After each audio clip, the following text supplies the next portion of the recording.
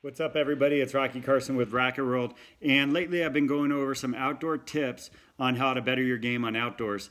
And one of the big things I used to, or I still teach when it when it uh, when I'm talking about indoors, is trying to eliminate the mistakes. And it's not always what you do that makes you good, but sometimes it's what you don't do that helps you become a great player. And on indoors, it's keeping the ball from skipping, obviously you want to limit it, limit or avoid uh, hitting the ball back to the middle. And number three, leaving the ball off the back wall as a setup to your opponent. So if we can eliminate those three or avoid them and uh, and keep the keep our opponents from having those opportunities, it will really help your game. But on the outdoor game, we obviously want to keep keep from skipping. So limit limit or avoid skipping the ball.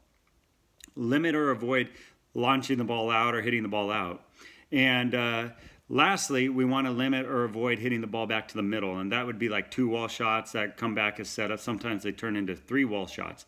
But if we can limit or avoid those things, it's going to really help you uh, better your outdoor game. And with that being said, the indoor game, we want to keep the ball in the back corners a lot of times. For safe, safe play in outdoor doubles, a lot of the times just going down the middle, right there about knee to chest high, and just trying to keep the ball in play. So Try it on the court next time. Good luck. See how uh, see how it helps you with your game.